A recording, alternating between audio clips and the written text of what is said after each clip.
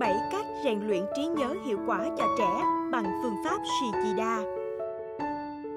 1.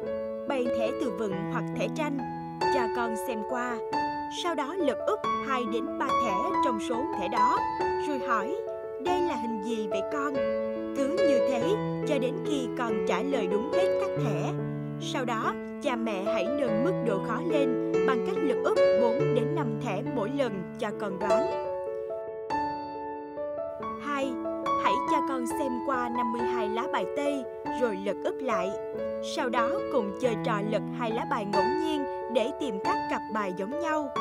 Nếu không giống thì phải úp lại ở đúng vị trí đó và lật các thẻ khác.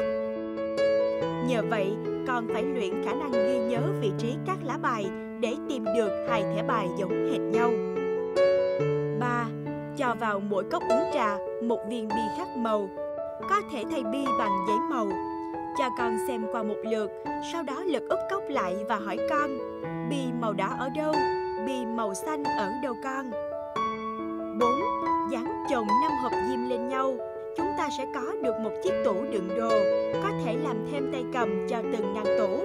Sau đó, cha mẹ hãy bỏ những viên bi vào từng ngăn tủ rồi hỏi con, bi vàng để ở ngăn nào con, bi trắng ở đâu? Như vậy cho đến khi con tìm ra và đáp đúng toàn bộ. 5.